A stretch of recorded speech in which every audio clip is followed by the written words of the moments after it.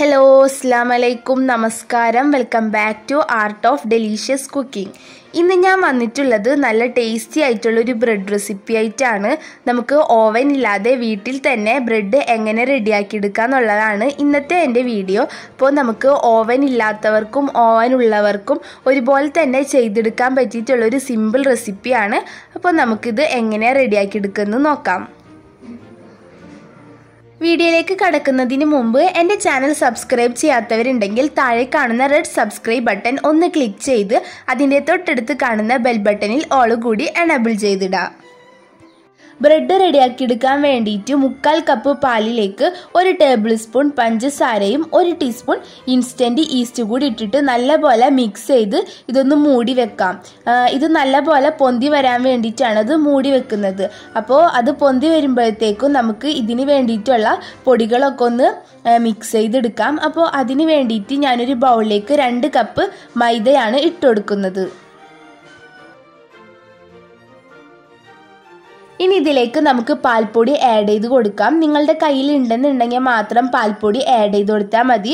അത് ഓപ്ഷണൽ ആണ്. അല്ലെന്നുണ്ടെങ്കിൽ നിങ്ങൾക്ക് സ്കിപ്പ് ചെയ്ത് കളയാം. അപ്പോൾ പാൽപ്പൊടി ആഡ് ചെയ്ത് കൊടുത്തിട്ടുണ്ടെങ്കിൽ നമ്മളുടെ ബ്രെഡിന് കുറച്ചുകൂടി ടേസ്റ്റ് കിട്ടും. ഇനി ഇതിലേക്ക് രണ്ട് ടേബിൾ സ്പൂൺ പഞ്ചസാര ആഡ് ചെയ്ത് കൊടുക്കാം. ഇതിലേക്ക് നമ്മൾ ടോട്ടലായിട്ട് മൂന്ന് ടേബിൾ സ്പൂണാണ് ആഡ് ചെയ്ത് കൊടുക്കുന്നത്. ഒന്ന് നമ്മൾ നേരത്തെ മിക്സ് ചെയ്ത് വെച്ചിട്ടുള്ള ഈസ്റ്റിന്റെ മിക്സിലേക്കും രണ്ട് ടേബിൾ സ്പൂൺ നമ്മൾ ഈ ഒരു മൈദയുടെ മിക്സിലേക്കാണ് ആഡ് ചെയ്ത് കൊടുക്കുന്നത്. ഇനി ഇതിലേക്ക് നമുക്ക് ആവശ്യത്തിന് ഉപ്പും ഒരു ടേബിൾ സ്പൂൺ ഓയിൽ കൂടി ഒഴിച്ചിട്ട് കൈവച്ച് ഇത് നല്ലപോലെ മിക്സ് ചെയ്തെടുക്കാം. കൈവച്ച് നല്ലപോലെ മിക്സ് ചെയ്യുമ്പോഴാണ് ഈ ഓയിലും പാൽപ്പൊടി അതുപോലെ തന്നെ പഞ്ചസാരൊക്കെ എല്ലായിടത്തേക്കും ഒരുപോലെ എത്തുള്ളൂ.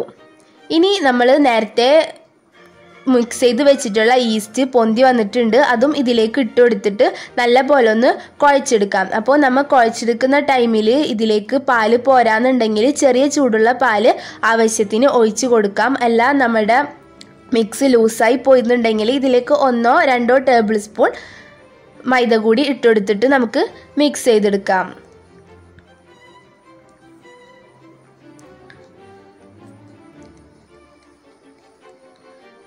അപ്പോൾ നമ്മിങ്ങനെ കുഴച്ചെടുക്കുന്ന ടൈമിൽ ഇത് കൈമൽ ഒട്ടിപ്പിടിക്കുന്നുണ്ടാവും. അപ്പോൾ നമ്മിത് കുഴച്ച് കുഴച്ച് ലാസ്റ്റ് ഒട്ടാത്ത ആ ഒരു പരിവാവണം. അതാണ് നമ്മളുടെ ബ്രെഡിനുള്ള കറക്റ്റ് ആയിട്ടുള്ള കൺസിസ്റ്റൻസി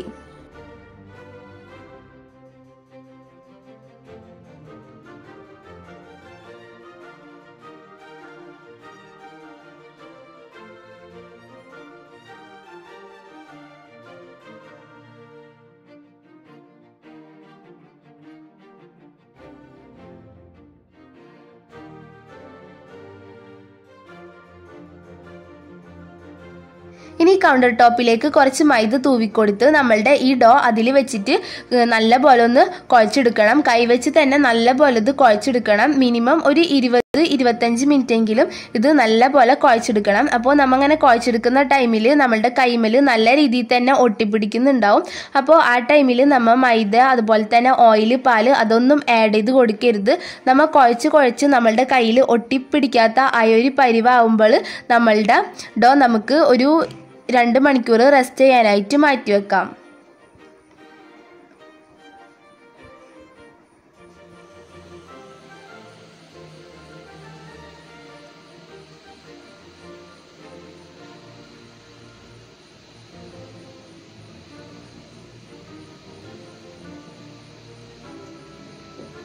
ഇപ്പോൾ ഇതിവിടെ റെഡി ആയിട്ടുണ്ട്. ഇനി നമുക്ക് ഒരു ഓയിൽ തടവിയ ബൗളിലേക്ക് ഇത് വെച്ച് കൊടുത്തിട്ട് ഒരു രണ്ട് മണിക്കൂർ രണ്ട് രണ്ടര മണിക്കൂർ ഇതെന്തായാലും റെസ്റ്റ് ചെയ്യാനായിട്ട് മാറ്റി വെക്കാം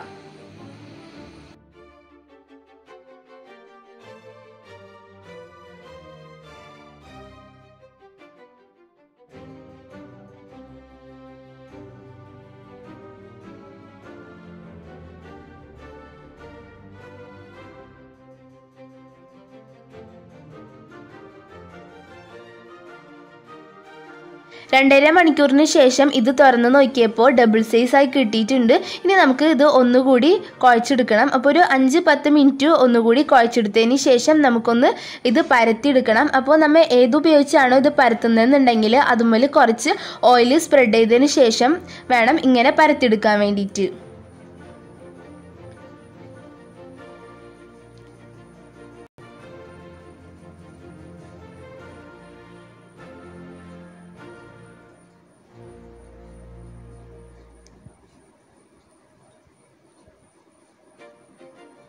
പരത്തിയെടുത്തതിന് ശേഷം നമുക്ക് ഇതുപോലെ ഒന്ന് റോൾ ചെയ്തെടുക്കണം. അപ്പോൾ ഇതുപോലെ ശ്രദ്ധിച്ച് വേണം റോൾ ചെയ്തെടുക്കാൻ വേണ്ടിയിട്ട്. ഇനി അതിന്റെ സൈഡിൽ ആ കാണുന്ന ഹോളൊക്കെ ഒന്ന് കാണാത്ത രീതിയിൽ വേണം മടക്കിയെടുക്കാൻ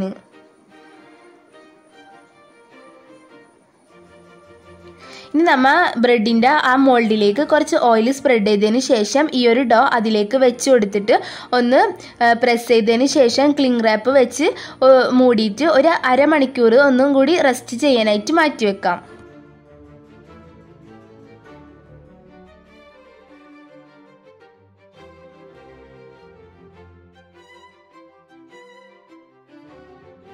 ഇപ്പോൾ മുപ്പത് മിനിറ്റിന് ശേഷം ഇത് നല്ലപോലെ പൊന്തി വന്നിട്ടുണ്ട്.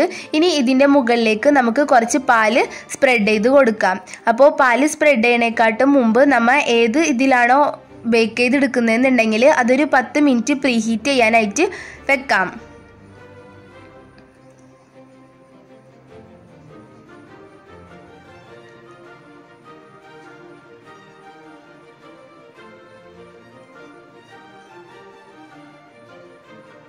ഇനി നമ്മൾ പ്രീഹീറ്റ് ചെയ്ത് വെച്ചിട്ടുള്ള ആ ഒരു പാനിലേക്ക് നമ്മൾ റെഡിയാക്കി വെച്ചിട്ടുള്ള ആ ഒരു ഡോ വെച്ചുകൊടുക്കാം എന്നിട്ട് ഇത് ലോ ഫ്ലെയിമിൽ ഇട്ടതിന് ശേഷം ഒരു നാൽപ്പത് മിനിറ്റ് ബേക്ക് ചെയ്തെടുക്കാം. ഇനി നാൽപ്പത് മിനിറ്റിന് ശേഷം ഒരു സ്ക്യൂർ വെച്ച് ഇത് കുത്തി നോക്കുമ്പോൾ അത് ക്ലീനായി വരുന്നുണ്ടെങ്കിൽ നമ്മളുടെ ബ്രെഡ് ബേക്കായി കിട്ടിയിട്ടുണ്ടെന്നാണ് അതിനർത്ഥം. ഇനി ഇത് ഇതിൽ നിന്ന് മാറ്റിയതിന് ശേഷം ഇതിന്റെ മുകളിലേക്ക് നമുക്ക് കുറച്ച് ഓയിൽ സ്പ്രെഡ് ചെയ്ത് കൊടുക്കാം. അപ്പോൾ ഓയിൽ സ്പ്രെഡ് ചെയ്ത് കൊടുക്കുന്നത്. ഇതിന് കുറച്ചുകൂടി ഒരു ബ്രൗണിഷ് കളർ കിട്ടാൻ വേണ്ടിയിട്ടാണ് അങ്ങനെ ചെയ്തെടുക്കുന്നത്. അതിന് ശേഷം ഒരു നനഞ്ഞ തുണി വെച്ചിട്ട് ഇതൊന്ന് മൂടി വെക്കാം. അപ്പോൾ അങ്ങനെ ചെയ്തെടുക്കുന്നത് നമ്മളുടെ ബ്രെഡ് കുറച്ചുകൂടി സോഫ്റ്റ് ആവാനും അതുപോലെ തന്നെ ഇത് പെട്ടെന്ന് ചൂടാറാനും വേണ്ടിയിട്ടാണ് അതുപോലെ ചെയ്തെടുക്കുന്നത്. അപ്പോൾ അതുപോലെ നമുക്കൊന്ന് ചെയ്തെടുക്കാം. അങ്ങനെ നമ്മുടെ ബ്രെഡ് നല്ല രീതിയിൽ ഇവിടെ റെഡിയായി കിട്ടിയിട്ടുണ്ട്. നല്ല സൂപ്പർ ടേസ്റ്റ് ആണ് നമ്മൾ കടയിൽ നിന്നൊക്കെ വാങ്ങുന്നതിനേലും സൂപ്പർ ടേസ്റ്റ് ആണ്. കാരണം നമ്മൾ ഇതിലേക്ക് പാൽ മാത്രമാണ് ആഡ് ചെയ്ത് കൊടുത്തിട്ടുള്ളത്. എക്സ്ട്രാ വെള്ളം അതൊന്നും ആഡ് ചെയ്ത് കൊടുത്തിട്ടില്ല.